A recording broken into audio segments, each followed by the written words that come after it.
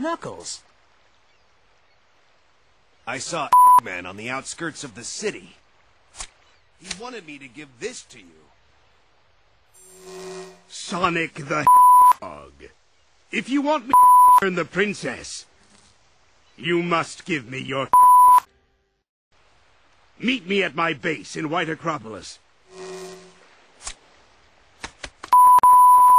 Cut. It's most definitely a trap. I think Eggman will his agreement. I'm going. Sonic? Since man went to the trouble of telling me where Elise is, I think I should him personally.